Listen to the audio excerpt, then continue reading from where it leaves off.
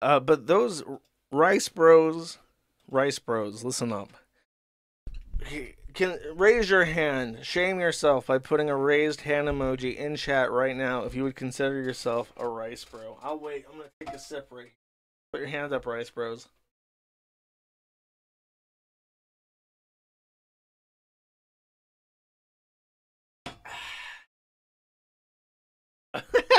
the boss man grab emojis. okay, we have a smattering of rice bros in the chat. Uh, now you you you probably have considered shitholes like Thailand, Vietnam, and the Philippines because like if the woman is so poor that you can basically just buy her, that probably like tickles your yellow fever just the same, right?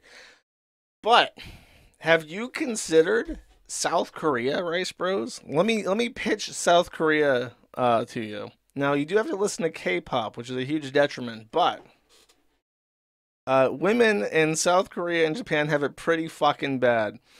Um, the statistics here show that in almost all countries across the world, the homicide rate for men and women is a 40 60 women die are murdered 40% of the time and almost always by their domestic partners whereas men are murdered uh, 60% of the time if there is a murder there's a 60% chance it's going to be a man and the motivations for murdering a man are a little bit more varied however uh, you may not expect this but that percentage actually goes down in more conservative countries and um, the philippines uh, it's 20% of murders are women. Uh, 40%. 40% in India. In India, the murder rate for women is still 40 60.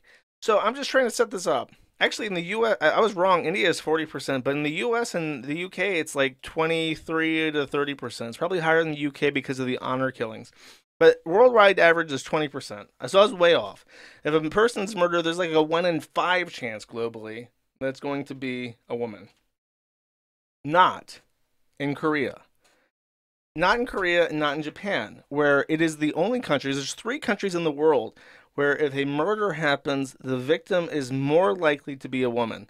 And it's almost always by a domestic partner or somebody in their family. And so you may have heard of this, the 4B movement in Korea. It's been a thing for a while now, but the four no's are no sex with men, no giving birth, no dating men, and no marriage with men. So it's a feminist movement, mostly in South Korea, that is trying to completely and totally remove fraternization between the two genders. They are basically boycotting men as a gender. And it has gotten a lot of traction, in part because of how bad the domestic violence issue is in South Korea. But also, um, they want to leave 75% of South Koreans want to leave their country. Um, and in the younger generation, it's uh, 80%. 80% of women want to leave South Korea. If you if you can be not a violent misogynist, you have a chance with 80% of South Korean women right now. If you can just not beat and murder women, you have a chance with you, even you, rice burner bro, gross weirdo rice burner bro in your disheveled apartment. You have a chance with four out of five South Korean women just because you're by default by being a Western man better than almost all South Korean men. Just on your fucking face. Uh, 83% of South Korean women view South Korea as hell. Um, 90% of South Korean women, and the, it's not even a generational gap for this one. 90% of women in South Korea say that they can never make money. It is impossible to go from poor. There is no South Korean dream. You will never become wealthy working in South Korea. Um, and then meanwhile, conversely, and this is also not separated between older and younger, 30% of women and 35% of men, regardless of age, in South Korea consider themselves losers. I'm telling you. they they want to, they want to return to to Kim Jong Un's loving embrace, and the rest of them want to get the fuck out of Korea. So, um, I don't know about Japan, and Japan of course has that weird philosophy. I mean, it's not weird. It's kind of it's kind of respectable, where they're just like we want to handle our issues privately. I guess I can see the advantages of that, not make everything like a big public ordeal. Um, but they have a similar murder statistic, so I'm, I'm assuming that a lot of Japanese women are also very unhappy. So I don't know. But as far as the South Koreans are very vocal about it, they hate their lives. if you want to, uh, if you are a rice burner, the the and you're not a retard, you can get a South Korean wife, I think. Um. Oh, okay. So there's a reaction to this, and the reaction to this is a Discord channel 20,000 plus Korean men have congregated in Discord to counter protest the 4Bs.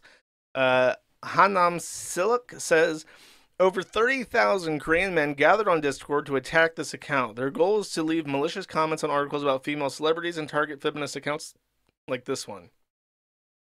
The group is called New Men Solidarity. My followers have probably heard of it. Yes, this organization formed to advocate for men's rights has a leader accused of domestic violence. He was reported to have consulted with a lawyer about zilling, which I assume just did not get the platform, killing his ex-wife and her family after their divorce. The perpetrator of the con- convenience store assault case where a man attacked a woman for having a short haircut. Wow, that's weird guy hates uh, tomboy bros. This is what the South Korean men are like. They say they see a short-haired woman in Korea, bam, bam, grow that hair out. What the fuck you doing? in Korea, women run feminist accounts never reveal our identities. If our identity is exposed, we must prepare for harassment and physical attacks. And this is him.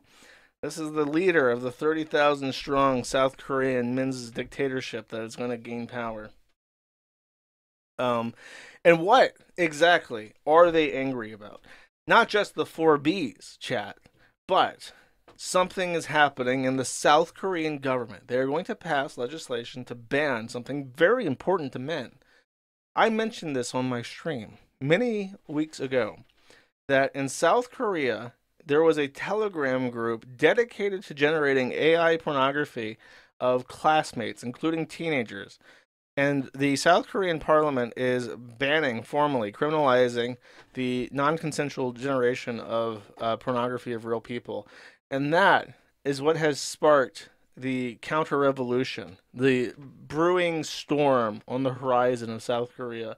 They need their AI generated pornography of their own classmates and children.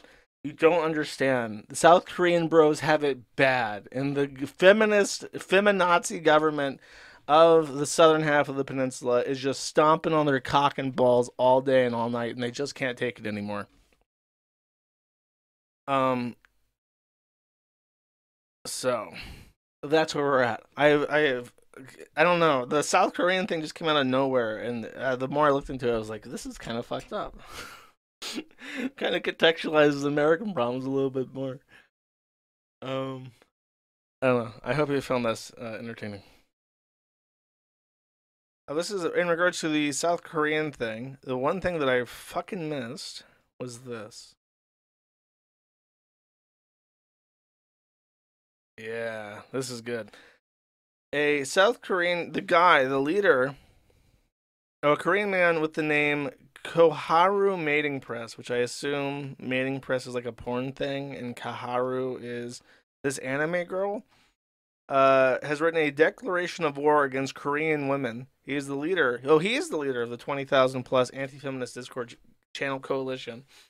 Uh, he seems to be serious. He says that he will revive Operation Barbarossa, uh, which is, of course, a reference to the failed attack of Nazi Germany against the Soviet Union uh, as a cyber war against Korean women. He claims to have contacted alt right groups in Russia, Germany, Austria, Italy, Croatia, Egypt, and Cyprus. In particular, he mentioned making connections with organizations linked to Germany's far right party, the AFD. Oh my god, not the AFD. They're very serious. Those goose stepping motherfuckers are trying to bring moderate Islam to, to, to Germany. Uh, Regardless of whether this is true, he uses things like Declaration of War, Blitzkrieg, Protectorate, and Army. And let's read the message. So this is, of course, the Koharu, I think. Uh, and it's called The Declaration of War to Korean Women. It has 7,000 views, 400 likes, and 151 comments when it was screen capped. Uh, hi there.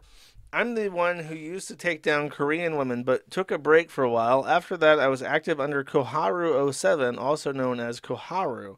Starting today, we officially announce the complete revival of Koharu Mating Press and declare war on Korean women, sharing our plans for future attacks against them. Starting today, our Discord Alliance, formerly the Anti Feminism Alliance, has officially declared war on Korean feminists, and I'm here to announce that the war will begin within 48 hours. Not really an Operation Barbarossa, if you're going to give them a head start. Uh, we plan to launch a full scale blitz by sending massive reports to foreign media and will engage in a sincere public opinion campaign through YouTube comments and Naver articles. We will revive the blitzkrieg that the Nazis carried out against the Soviet Union, known as Operation Barbarossa, as a 21st century cyber war. Even if our organization collapses, we will fight this war to prevent the surveillance law on pornography from passing. Additionally, we will target and overwhelm Discord channels where many Korean women are active, active, paralyzing them and mass reporting the servers to get them shut down. Even if you see this and try to stop it, we've already been planning this attack for two months. We have infiltrated with hundreds of members. Our great Discord channel is bringing back the holy war against Korean women that heated up in June.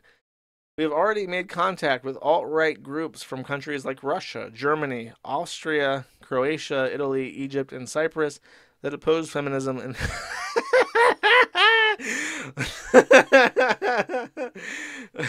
yeah, what a fucking coalition of anti-feminist countries, bro.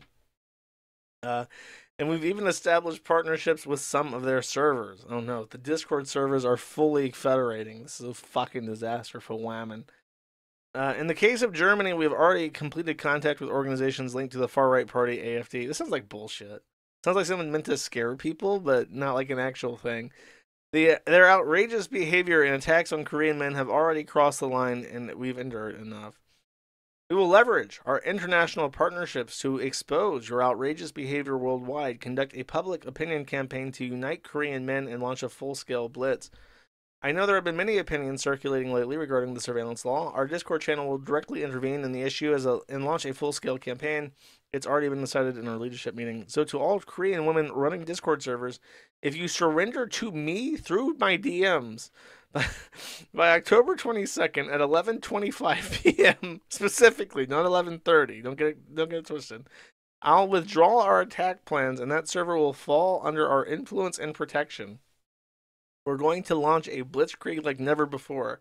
Our server members living abroad will carry extreme actions using foreign accounts.